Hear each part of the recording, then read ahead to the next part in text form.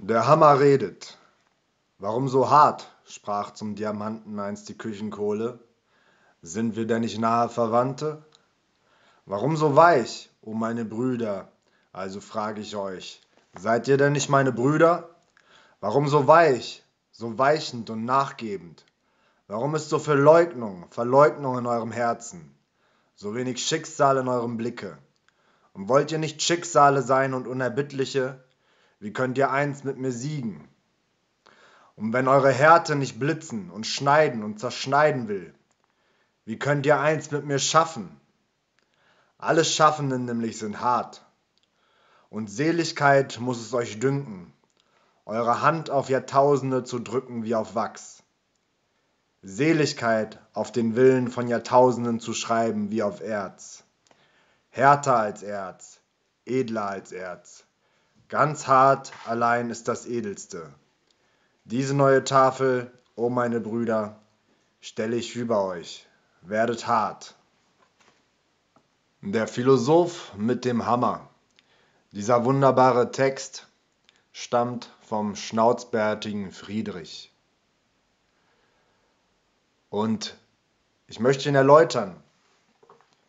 Es geht darum, eigene Prinzipien eigene Werte zu haben, eine eigene Moral zu haben und diese auch durchzusetzen, die Trägheit zu überwinden.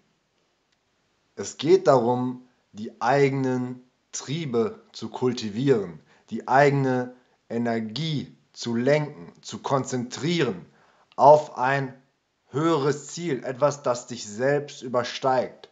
Kein bloßer Massenmensch zu sein, nicht bloß deinen Trieben zu folgen, auf dem Sofa zu liegen und dir Donuts einzuverleiben. Ja, das führt zu Homer Simpson. Wenn du mehr schaffen willst, musst du diese Energie bündeln. Und wenn du einen starken Schweinehund hast, starke Triebe hast, dann ist das die allerbeste Grundlage. Denn das ist die gleiche Kraft, das ist deine Kraft, deine Faulheit, deine Triebe, dein Hunger. All das entspringt der einen Quelle. Und all das ist der Ursprung des Höheren. Alles Große kommt aus der Hose. Das bedeutet, dass wenn dein Schweinehund sehr stark ist, du starke Triebe hast, dann hast du auch eine starke Veranlagung, eine starke Natur. Jemand, so jemand, der besonders faul ist, der besonders hungrig ist, so jemand kann auch viel schaffen, wenn er es schafft, diese Triebe zu kontrollieren, sie nicht mehr gegen sich arbeiten zu lassen, sondern für sich arbeiten zu lassen. Und darum geht es bei der Menschwerdung. Das ist das, was Nietzsche als Übermenschen bezeichnet hat.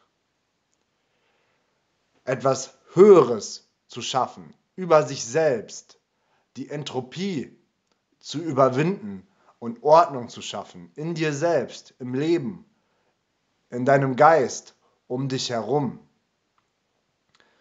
Und so musst du Stück für Stück deine Triebe kultivieren und sie auf das gewünschte Ziel lenken. Denn wenn du deine Energie nicht fließen lässt und vielleicht sogar in Kompensationsmechanismen drin bist, dann wendet sich deine Kraft gegen dich selbst. Dann schadest du dir selbst. Denn diese Kraft, diese Triebe, die früher für unser Überleben gesorgt haben, sich fortpflanzen, so viel essen wie möglich, möglichst hochkalorisch essen, Zucker, Fett. Ja, das ist das, worauf unsere Triebe ausgelegt sind, unser Körper ausgelegt ist. Energie sparen, hochkalorische Ernährung. All das hat uns in unserer Vergangenheit geholfen zu überleben. Und wenn die Zivilisation untergeht, dann wird uns das auch wieder helfen zu überleben. Aber in dieser Zeit in der wir jetzt leben, bringt uns das unter die Erde. Ja, wenn du ein stumpfer Hedonist bist und bloß diesen Trieben folgst, dann sorgt das dafür, dass du unter der Erde landest. Ja, dass du übergewichtig wirst, dass du fett wirst, dass du dich kaum bewegst, dass du dich von einem von deiner linken oder rechten Hand in Jungfern lässt. Dass du nicht das bekommst in deinem Leben, was du bekommen könntest. Dass du ganz weit unterhalb deines Potenzials bleibst.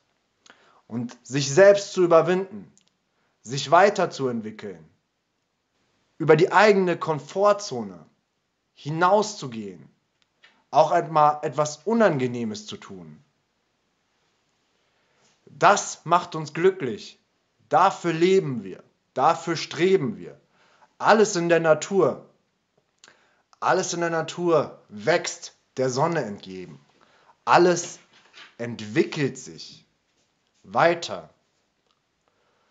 Und wenn du dich weiterentwickelst, dich nicht nur fortpflanzt, sondern hinauffpflanzt, etwas Besseres schaffst, etwas Besseres aus dir selbst machst, deinen Körper kultivierst, indem du regelmäßig trainierst, indem du das Land, auf dem du lebst, kultivierst, die Artenvielfalt erhöhst, ja, die Kulturlandschaften in Deutschland ehemals haben dazu geführt, dass sich die Artenvielfalt noch erhöht hat. Der Mensch ist nicht bloß ein Parasit und ist nicht bloß schädlich für die Natur. Industrielle Landwirtschaft ist schädlich für die Natur. Aber der Mensch kann durch und durch mit der Natur zusammenleben und die Natur fördern. Denn der Mensch ist Teil der Natur. Wir gehören zu der Natur. Und wir können Blumen pflanzen und so weiter. Die Artenvielfalt erhöhen deinen Geist kultivierst, indem du Bücher liest, indem du meditierst, Ordnung schaffst, all das wird für Zufriedenheit sorgen. Ja, das, was dich jetzt im Moment vermeintlich glücklich macht, die Zigarette, der Donut, macht dich langfristig krank, wenn du es übertreibst damit. Deswegen lade ich dich ein, Hör auf Nietzsche. Werde hart. Überwinde dich. Wachs über dich selbst hinaus. Tu Sachen, die unangenehm sind. Das Leben ist wie eine Rolltreppe. Ja, wenn du nichts tust, deinen Körper nicht forderst, dann beginnt dein Körper sich zurückzuentwickeln. Deine Arme werden immer dünner, deine Beine werden immer dünner, deine Gelenke werden immer schwächer, deine Knochen verlieren an Masse, an Härte. Dein Geist wird schwach, kein Fokus mehr, keine, kein Shen, keine geistige Kraft mehr zu denken, zu überlegen, Schau in die Augen eines Kindes und du siehst die geistige Energie. Im Chinesischen ist es das Shen. Du siehst dieses Shen, die geistige Kraft in den Augen, das Aufgewecktsein, das Motiviertsein und vergleich das mal mit der Denkschwäche des durchschnittlichen Erwachsenen. Kultiviere dich, wachse über dich selbst hinaus. Das macht uns glücklich. Das macht uns zufrieden. Dafür leben wir. Dafür sind wir hier. Druck formt die Kohle zum Diamanten. Nutze also diesen Druck. Ja, der Starke wird in schweren Zeiten noch stärker. Ich habe es schon mal gesagt, im Chinesischen ist das Zeichen für Gefahr das gleiche wie für Chance. Ja, während Leute, die zu schwach sind, endgültig zugrunde gehen. Vielen Dank für deine Zeit und deine Aufmerksamkeit.